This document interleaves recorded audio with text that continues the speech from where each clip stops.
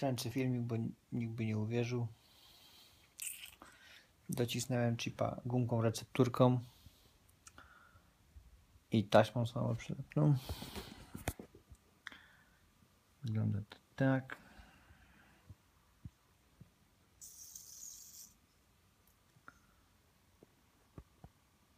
Pierwsza lampeczka.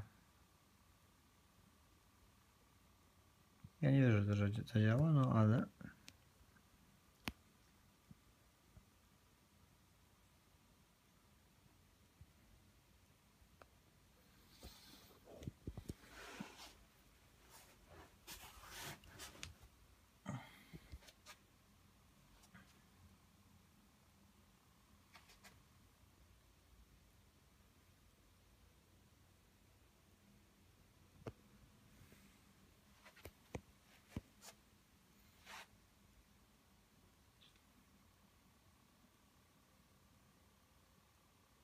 druga lampka.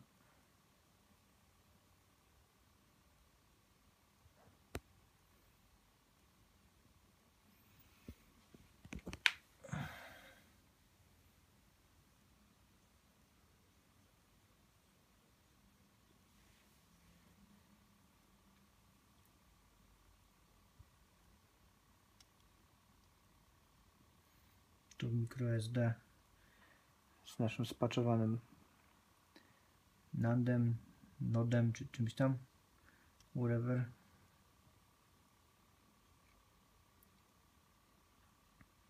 No na razie ciśnie, zobaczymy jak będzie.